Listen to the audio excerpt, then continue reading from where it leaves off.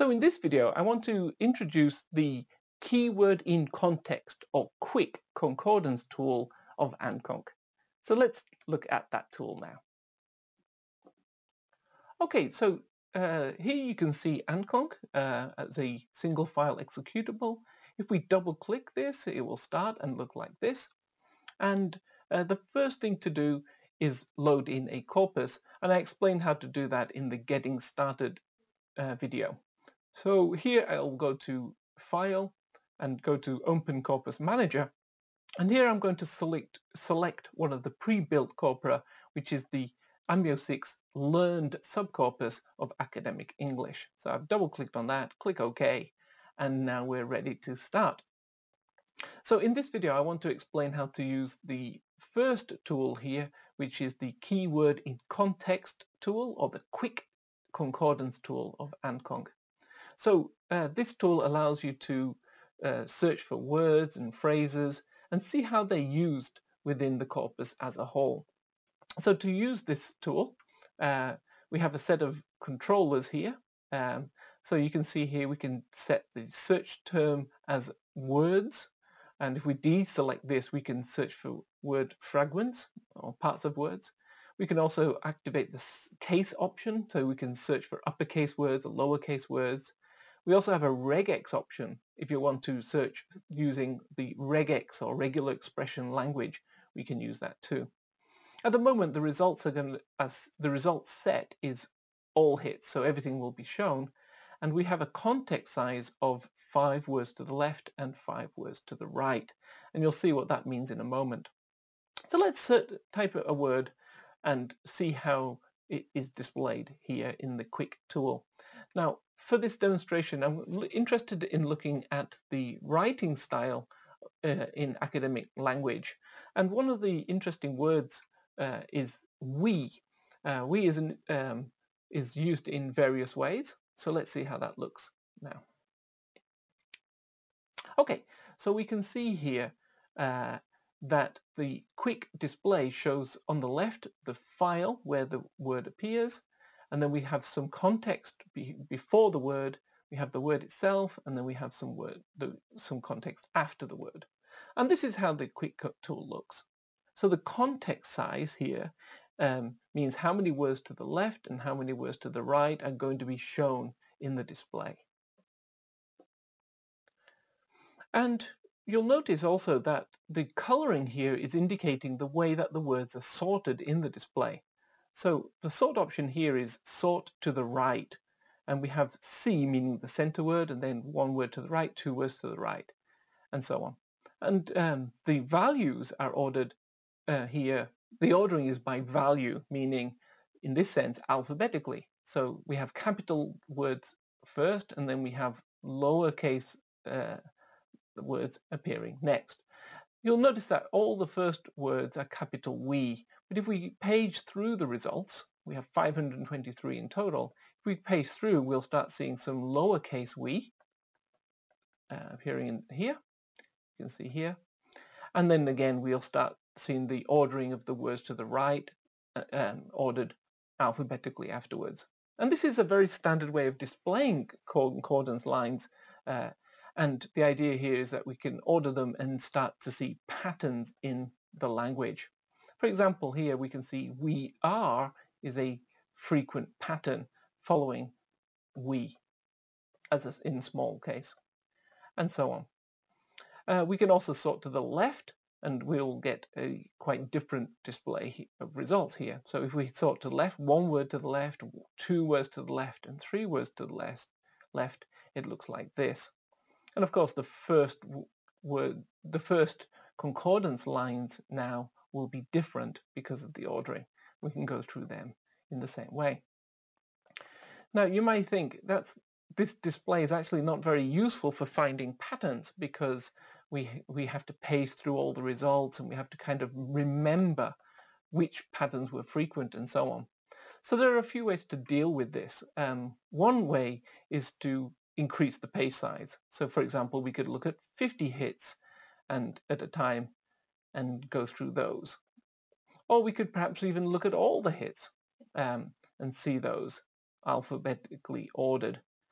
but again, you may think that's quite difficult to, uh, to use to identify patterns. So we have a few other options as well. Uh, let me just sort to the right here to make this more clear. Okay, so one thing we can do is instead of looking at all 523 hits, we can look at a sample of those hits. So for example here, instead of looking at all hits, we could say look at a random sample of 10 hits. Now you can see perhaps a, a, a, an interesting pattern in how uppercase we is used in comparison with lowercase we here. Uh, but that's only 10 hits. So maybe we could have, say, 100 random hits and see then how these uh, patterns change. But it's still a little difficult to see. So AntConc comes with a quite unique feature, which is to not order simply by value, but by to order by frequency. And that means it's going to order the results by the, the frequency of the pattern that you're looking for. So let me just explain this. I'm going to look at all hits and I'm going to have a page of 10. Okay. If I start the results here now, what we can see is not an alphabetically ordered list, but we can see which which center word has the highest frequency and then which word to the right comes most frequently after that and then which word two words to the right appears most frequently after that. So for the center word, we can now see that we appears more frequently than in small case than in capital letters.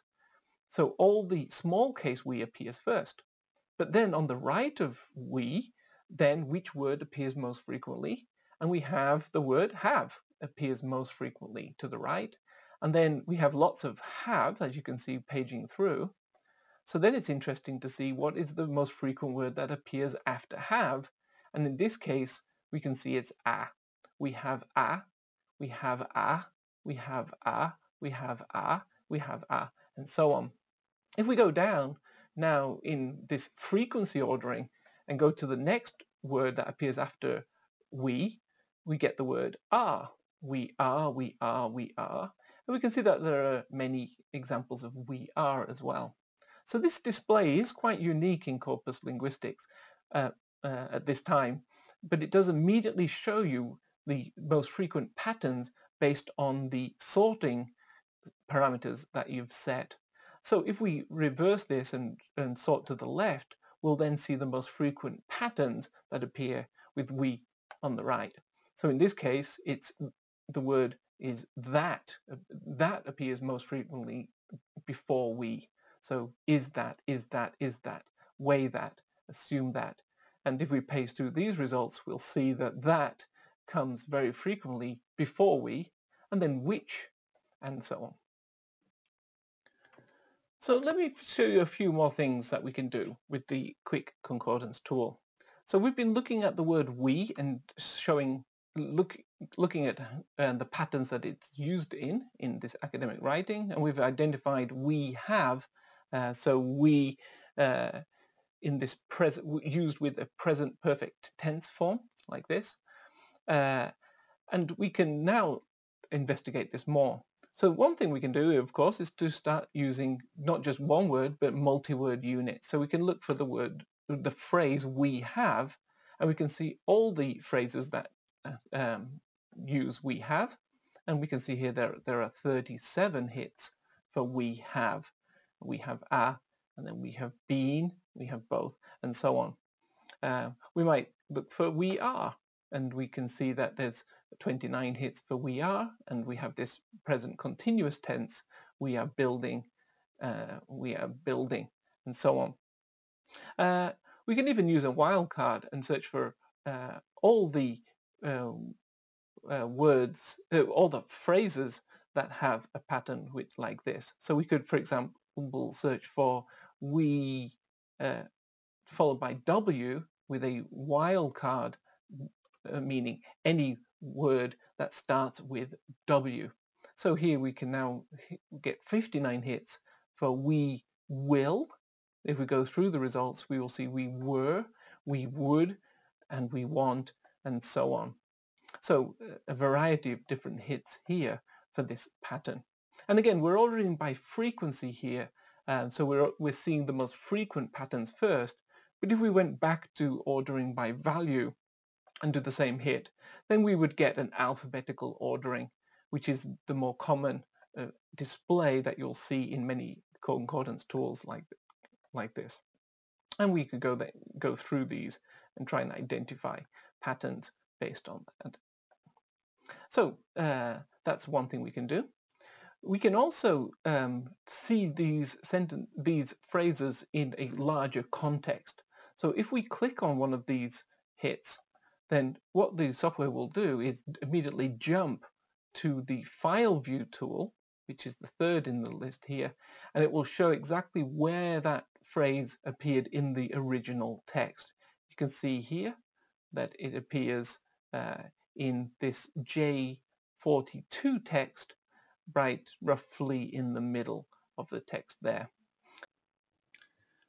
And if we go back, uh, we can uh, look at other patterns as well. So for example, here you can see we were dragged into the 1967 something. And if we double click on that, again, we jump now to the J37 file. And again, you can see the exact context where that phrase was used. So that's how we can use the keyword in context concordance tool of AntConc.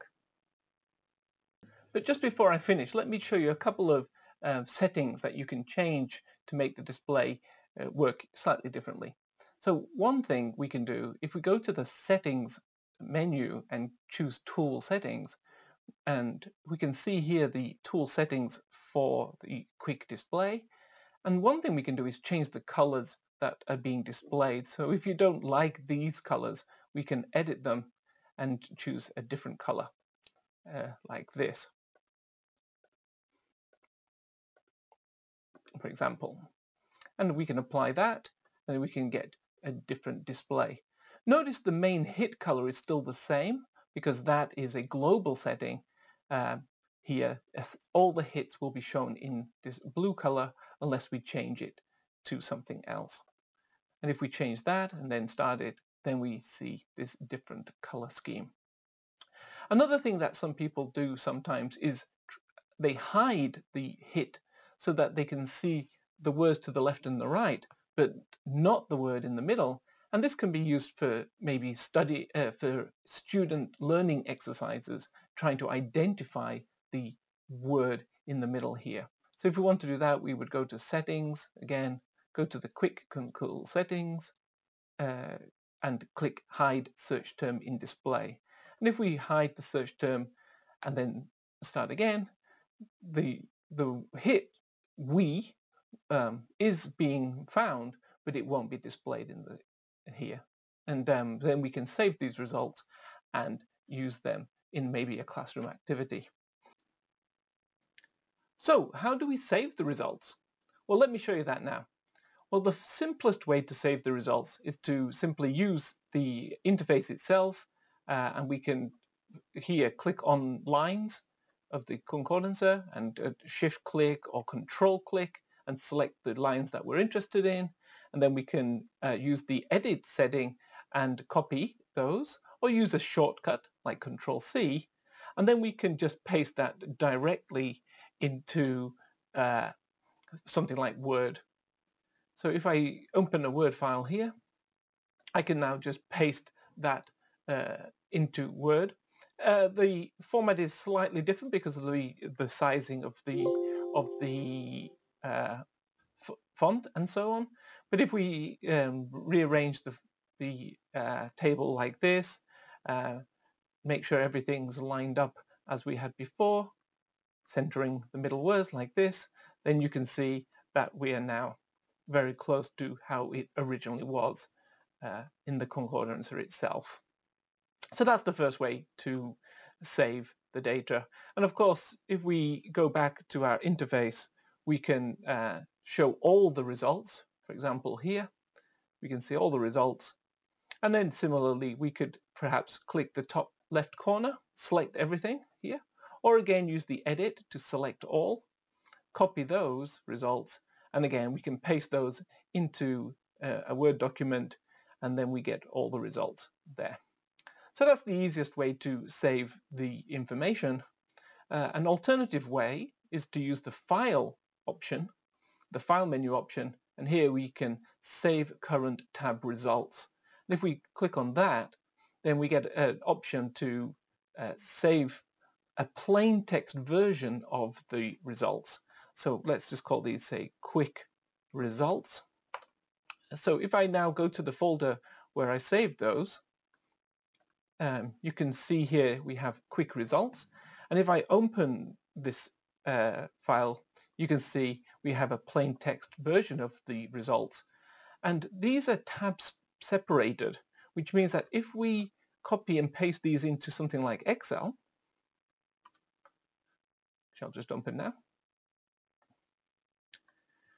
what we can now do is paste those directly into Excel and you can see that um, all the information is nicely separated into rows and columns and then if you're interested in analyzing this more you could perhaps edit these um, Excel results removing some of the results if they're not what you hoped or what you're interested in and so on. So that's how to save the results from AntConc. So that's the uh, basic way to get started with the KWIC concordance tool of AntConc.